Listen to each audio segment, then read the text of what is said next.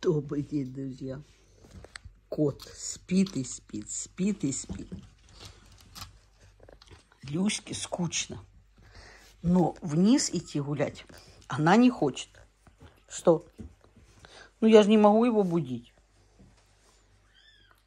Да. Это неправильно будет, если я буду его будить. И так, и за лаву, и так, а он и в ус не дует. Люся, ну нельзя быть такой. Ну пусть поспит, а. Злится из-за попу его. И, и так, и так злится. Скажи, я что-то не пойму. Мне его подарили или как? Помните сказка про красную шапочку? Вон я тебе динозавра дала. Разбирай по запчастям. Нет. Нет. И ты полюбишь меня как миленький, да? Да. Кто не смотрел красную шапочку, мне очень нравится этот сюжет. Об избалованном мальчике. Люся, ты у нас тоже будешь избалованная девочка? Нет, вот есть другой способ спуститься. Нет. Надо спуститься по коту. Да? Говорю, мама, мама, ну а что он спит? 20 часов в сутки спит.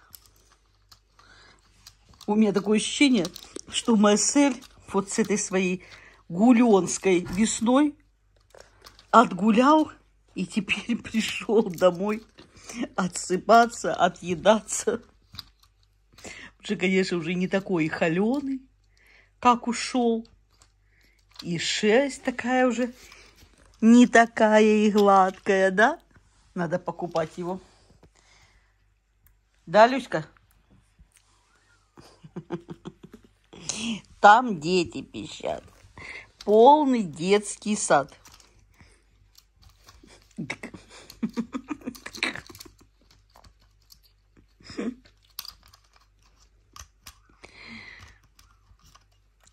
Ах, и шкура ты будешь.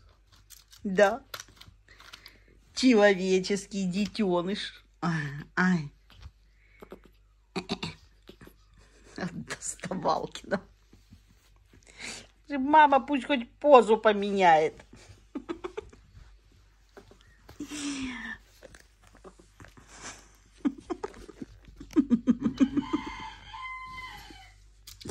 Что, никак, Люська? Люська Доставалкина. Мазик, давай я тебе за толстую попу вниз. Ну, сползи хоть вниз, пусть она с тобой хоть внизу. О, о, мой, мой, скажи, любимый Марсель, старший брат. Все, уже за усы таскает. Он даже ей это позволяет делать обнял такой, говорит, угомонись. Скажи, давай поспим, ну хоть немножко лапаю. Угомонись. Нет, после его, конечно. А наш... Масик, вот я бы на твоем месте уже ушла, ты понимаешь? Вот я бы уже не выдержала эту доставалкину. Вот, держи ее так на расстоянии. Лапами, ты видишь, отстранил ее. Люська, иди погуляй. Не мешай спать.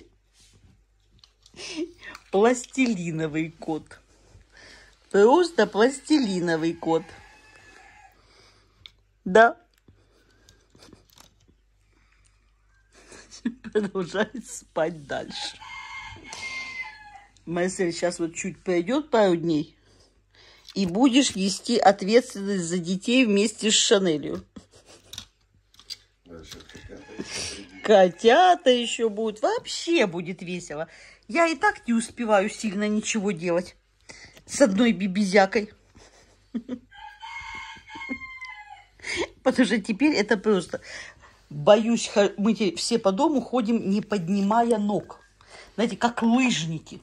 Потому что боимся наступить на эту мелочь хвостатую. Она бежит за каждым из нас. И так вот, один за другим, как лыжники, ших-ших-ших по дому. А когда еще котята поползут, и бибизяна, самое как бы нехорошее это что, что идет, ну, нехорошее в каком плане, лето подходит, и дверь будет э, на улицу открыта. И вот это, конечно, с такой бибизяной будут большие сложности. Потому что она, допустим, а, а так, а так. Нет, ну даже, вот я поражаюсь терпению этого кота.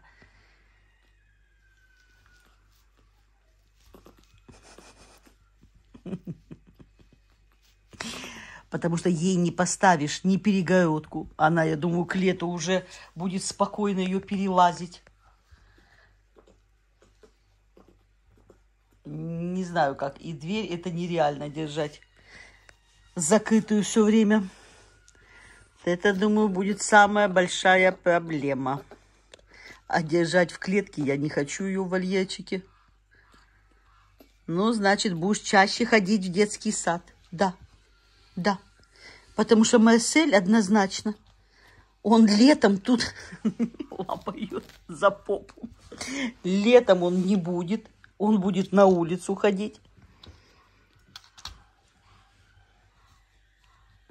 А вот котята, ну, котята, ладно, котят можно огородить, они не полезут наверх. А Люська, это дело такое, ввысь будет, прыгать, я надеюсь, уже будет к лету. Удержать ее дома будет нереально. Надо что-то думать. Вот жизнь лафа. Да, Люська? Вот же ж свезло тебе, от свезло, даже личного кота заимела.